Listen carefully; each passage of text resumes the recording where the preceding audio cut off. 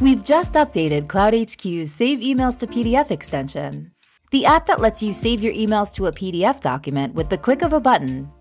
You'll now have the ability to simplify your PDF by removing all signatures, quotations, page breaks, and other redundant information. I'm going to show you how to do this.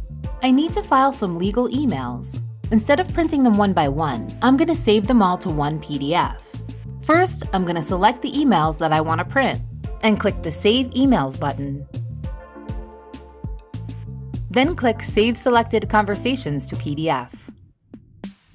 The settings window will pop up, but now you'll see this newly added Compact Format option here. Check the box for Compact Format and click Start Conversion. When my PDF is done, I'll open it up so you can see how neat and clean it is. There's no more signatures, quotations, page breaks, or other unnecessary info included.